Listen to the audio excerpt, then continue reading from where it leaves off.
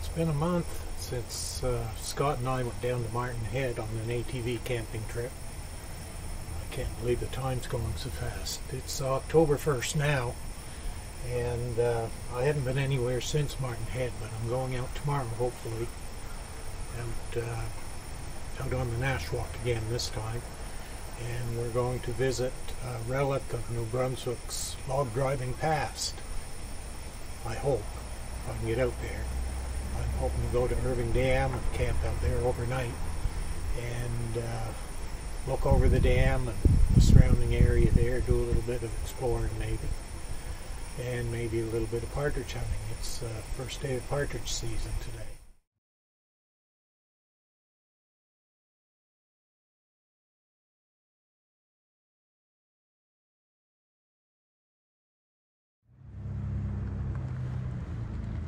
Ready to go on another trip out to Irving's Dam this time and maybe a little partridge hunting.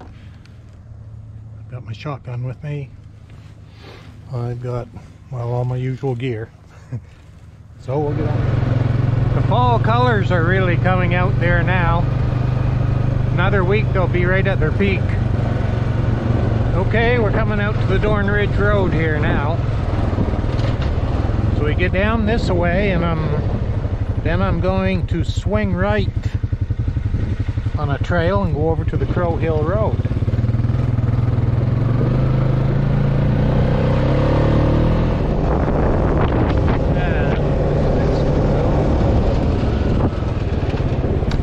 I think this is the road I want right here.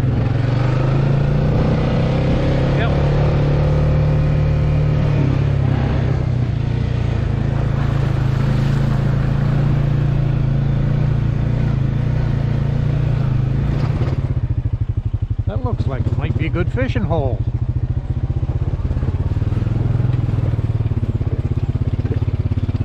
Nice little beaver dam anyway.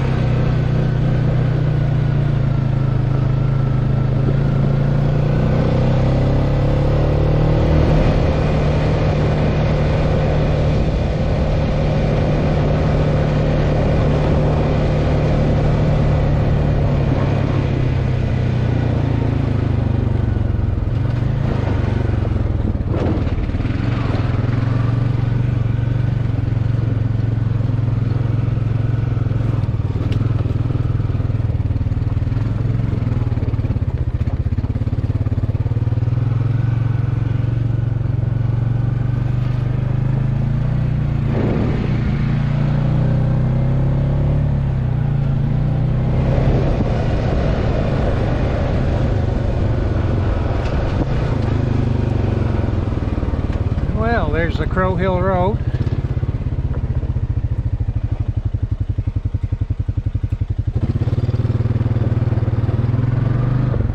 Oh, and there's uh, white-tailed deer.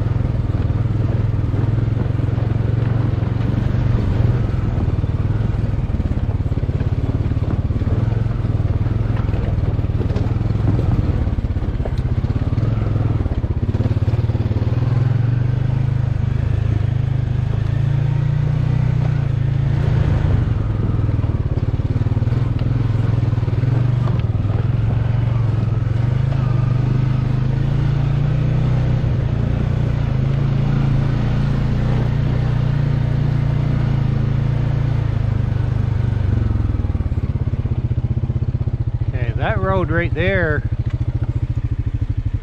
goes over to Little or Lower Nashwaak Lake. Perhaps we'll go over there a little later. I think I'll go back that way anyway. Kind of rough through here.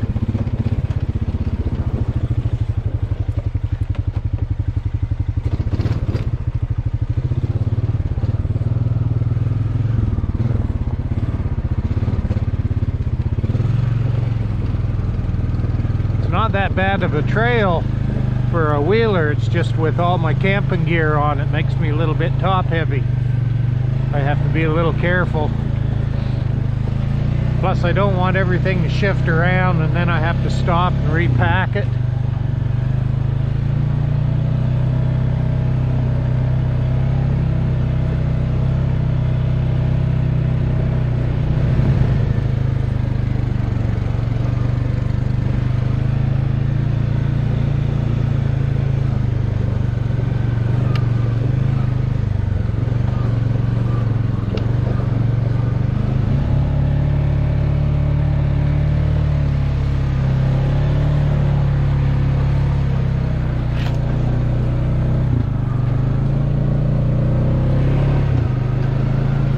We're almost there.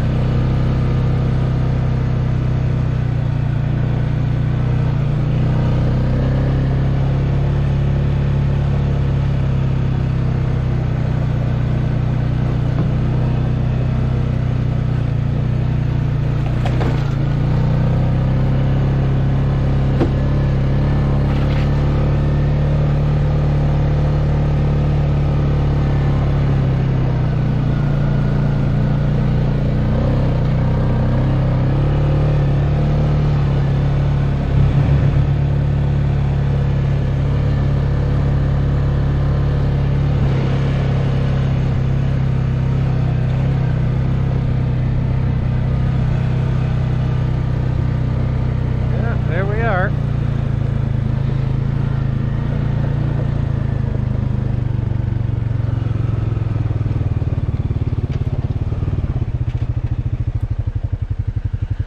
There's the Irving Dam, and I'm at my camping spot.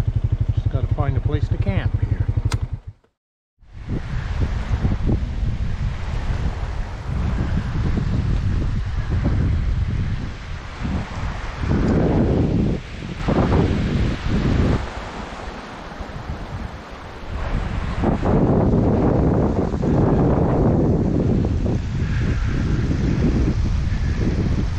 Nice ladder there.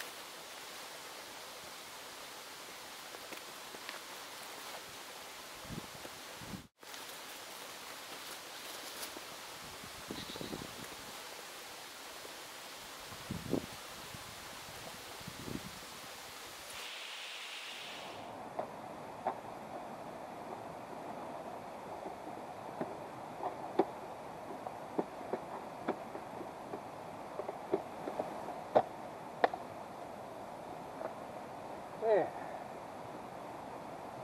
A coffee break. I haven't even had a coffee today. Sit and have my coffee.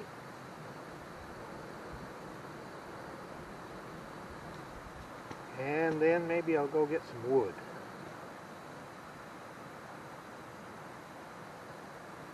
We'll see. Need to fly the drone.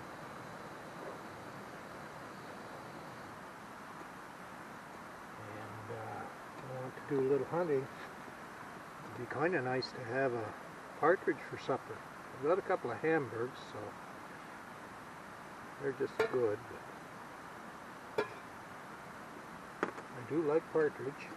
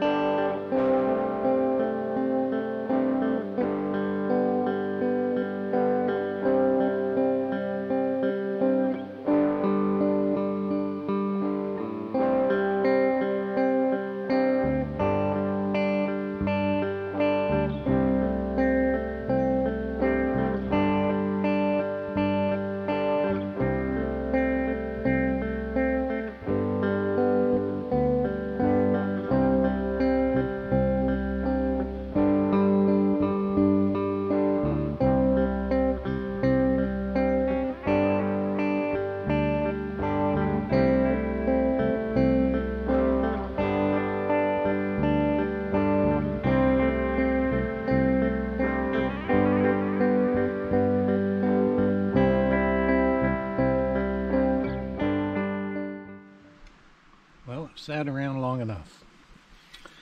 Better be getting some wood. It's supposed to get quite cool tonight. Maybe not frost, but you never know out here.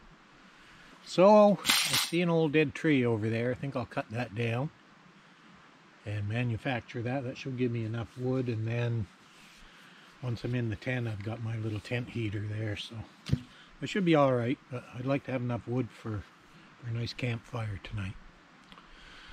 So we'll get at it.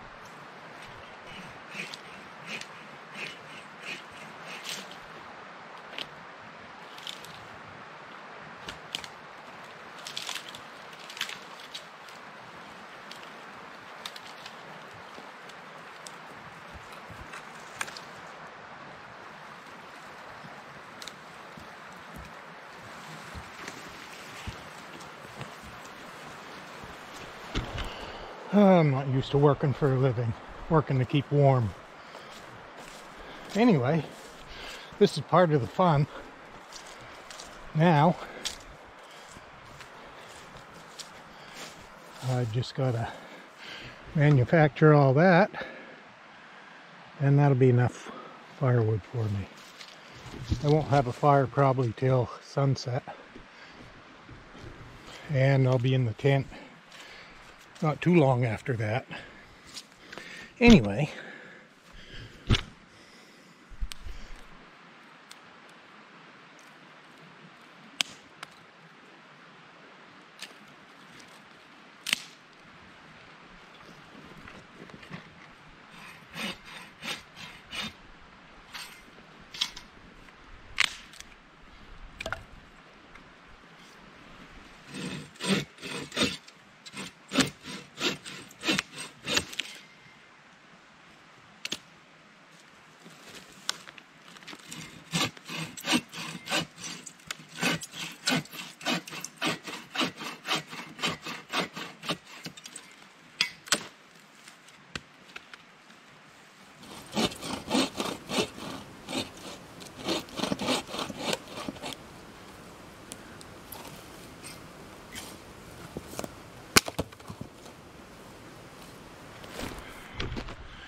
All right, it's about time we explored the, the other end of this dam.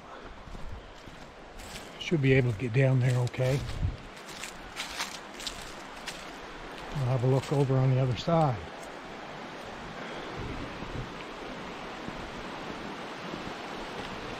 There's an old rickety ladder here.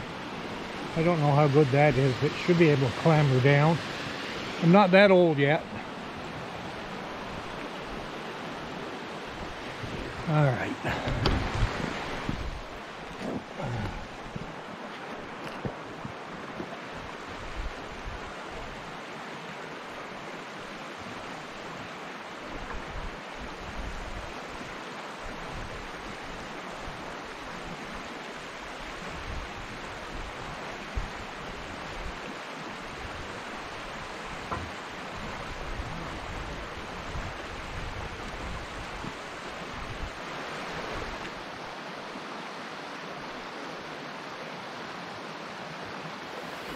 Down on the lower part of the dam here now. Thought I'd investigate. It's sloped here, as you can see. I don't know if this is where they they uh, wash the logs down over or how they exactly they did this. I suppose they penned them up in the head pond and then sluiced them down through here and then maybe let the rest of the water out to help them down the stream. That's my guess. I wasn't around at the time. So this is sort of the end wall here. They just put this here for people to put graffiti on, I guess. This is thick old steel. Looks like half inch. That'll be here for a long time.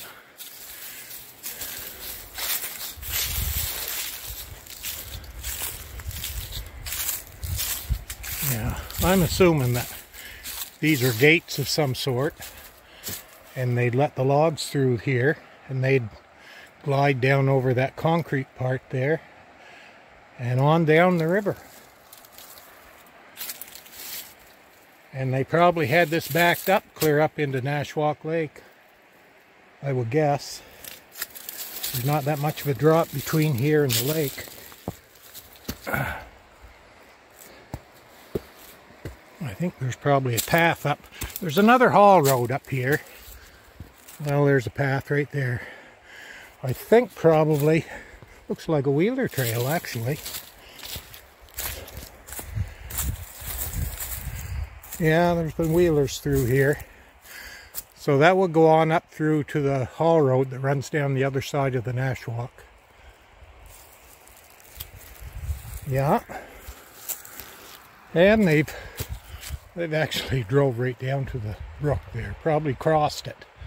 I would guess they, yeah, they could cross right there in low water, right down there, and up the other side, and keep right on going.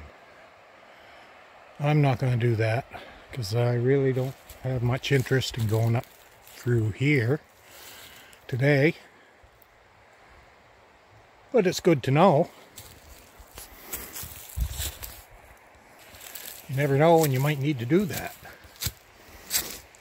The road might wash out on this, on the other side. Of course, if it did that, probably mean that the, the river was high and you couldn't cross it anyway. It gets quite high here. I've seen it when she's just roaring down through here, but it's, it's at fall levels right now, very low. You'd have no trouble crossing it there right down there in the Swift. Kind of an interesting artifact from the log driving era. At one time, the only way they would have been able to get the logs out of here, out of the backwoods, would be through the streams in the spring when there was high water. And they dam up the small streams and then let the dam go and run the logs down through and get into a, a river like the Nashwaak here. And in the spring, this is quite a torrent down through here. You'd never know it right now. You would almost cross it without getting your feet wet right down there. But in the spring, she is uh, she's a wild stream. So they'd they bring the logs down this far and then let them out through here.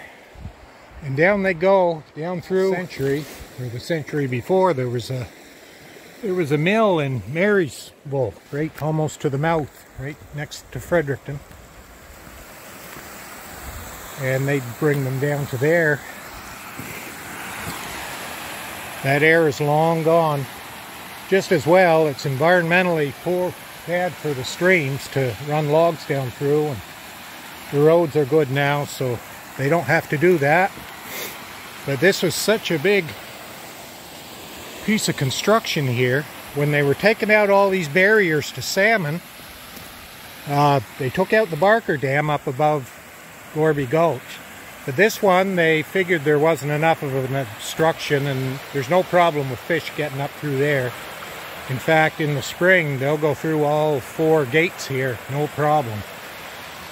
And to blow it out of here would be more trouble than it's worth, really.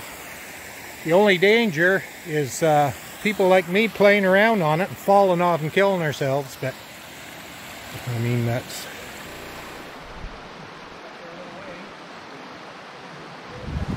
There's a loon or something, probably a loon up there. Looks like a loon.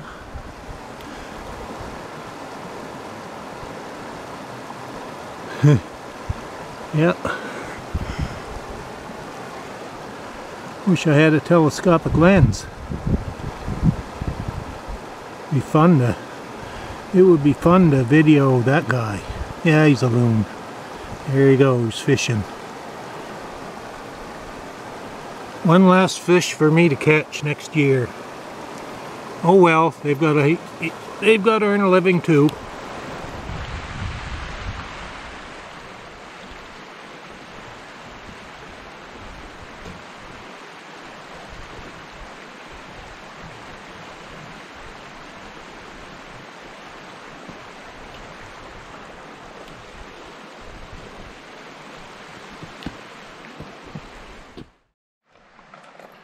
Okay, we'll take a little drive over to Nashwaak Lake.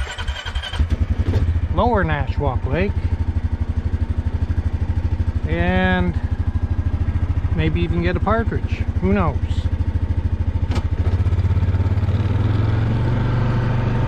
Maybe even pick up a little bit more wood. Look, in the afternoon, sun goes down at around 7 o'clock, I believe. So I've got three hours. If my math skills haven't failed me. So I think I'll, this shouldn't take any more than probably an hour to go over to the lake and back.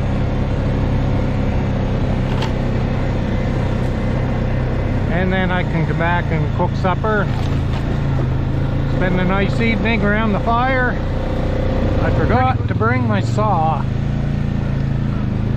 Would have been nice to cut that piece of birch right there. I guess it's still a little green.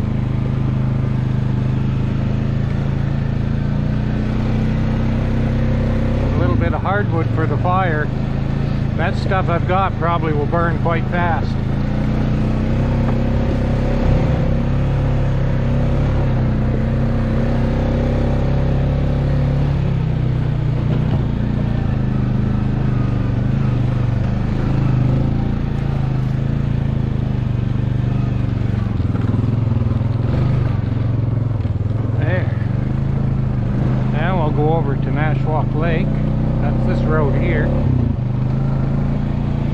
think what this was was the Grand John Road and it carried on like it starts up on the Fred Fredericksburg Road or whatever that's called, the Nashwaak Road and comes down, there's a bunch of camps up there and then it crosses the haul Road there and comes down through here.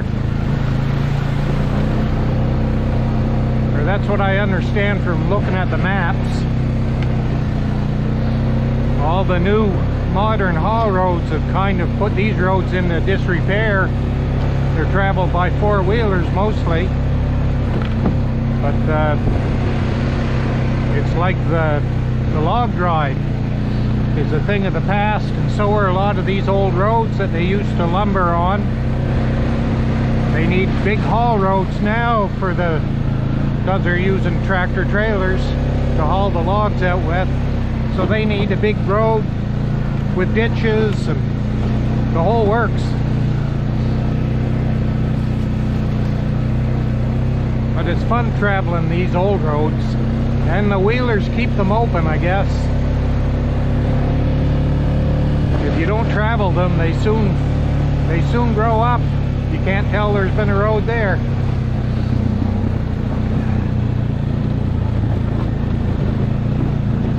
Oh, there's the lake.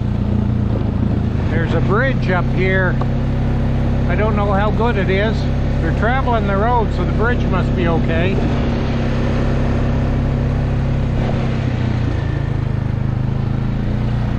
The last time I was across it, it wasn't much, but oh yeah, it's not too bad there now. It looks like they've done some repair work on it.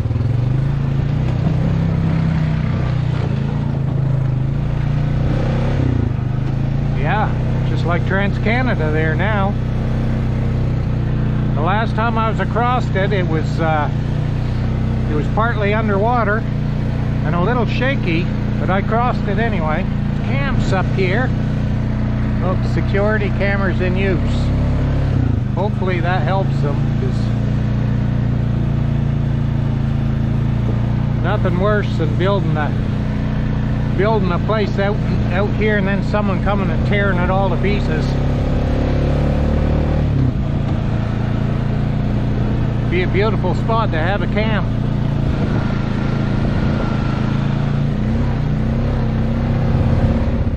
And that is lower Nashwaak Lake right there. There goes a duck of some sort, or loon, or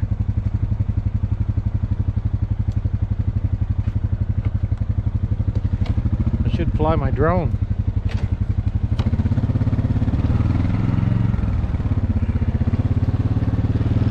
Maybe I will.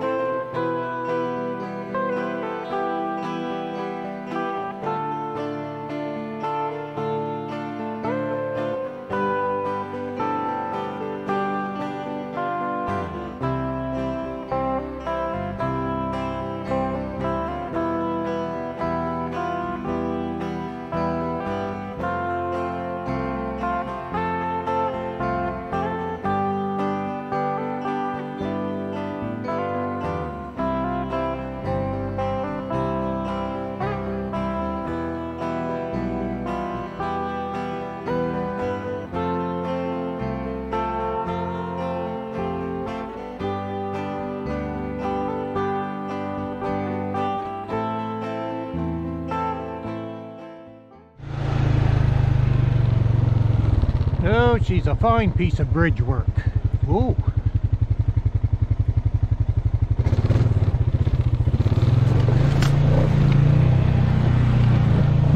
Kinda iffy really. Needs new logs on it.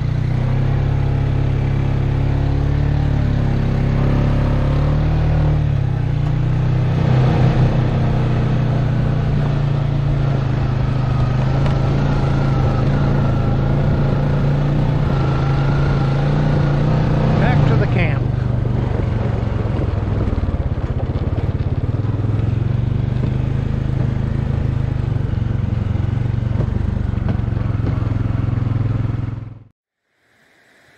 Well, I've got everything lined up for the evening.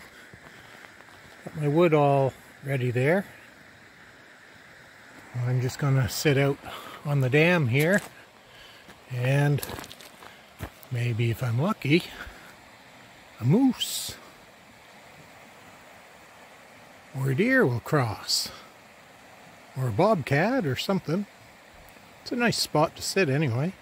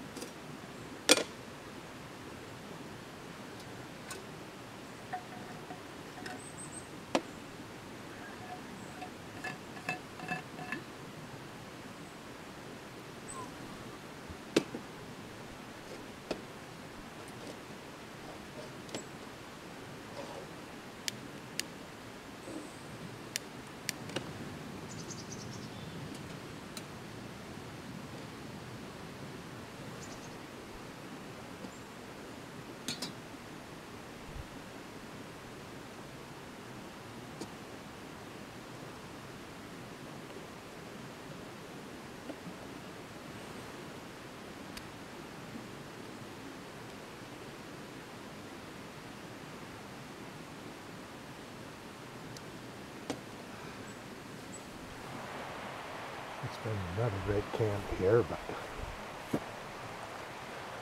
I want to get out of here before it starts to rain, I think. So I'll pack up and maybe do a little bit of exploring. We'll see. Well, that's me all cleaned up, ready to go. Site's all cleaned up.